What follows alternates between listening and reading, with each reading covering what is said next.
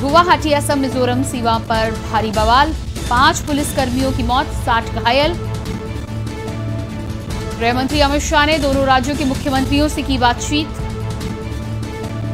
गृह मंत्री अमित शाह ने दोनों राज्यों के मुख्यमंत्रियों से की बातचीत। असम, मिजोरम, सीमा पर भारी बवाल। असम, मिजोरम, सीमा पर भारी बवाल। गुवाहाटी, असम, मिजोरम, सीमा पर भारी बवाल। पाँच पुलिसकर्मियों की मौत के साथ ही साथ साठ पुलिसकर्मी घायल बताए जा रहे हैं।